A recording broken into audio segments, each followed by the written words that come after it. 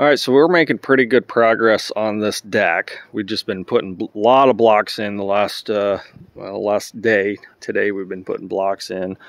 And we'll have probably three quarters of a day tomorrow putting blocks in as well.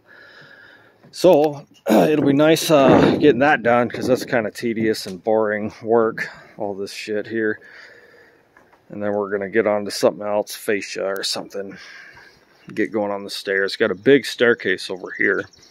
This one's four feet wide. It goes down quite a ways. I mean, I think it's nine feet, nine feet up. We'll get going on that sometime. Probably be a couple weeks yet.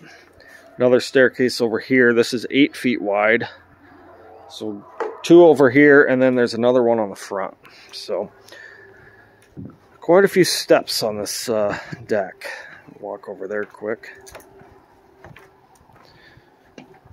This whole deck has a triple border, so there's three boards that go around the entire perimeter. And then also right here in the middle, it goes up. And then all of the uh, the points are going to be herringbone. So it's pretty nice look.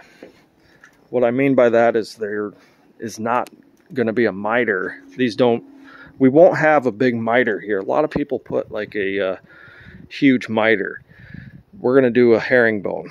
So anyway, and then we have another staircase over here. This is 10 feet wide. So from post to post and that goes down. So a lot of work on this project. We need to get railings figured out pretty soon. I got to get them ordered. Still don't know what we're going to use. Sounds like it'll be uh, Westbury black railing. That's what it sounds like. Just a standard C10, nothing crazy. So, but yeah, anyway, that's a deck update.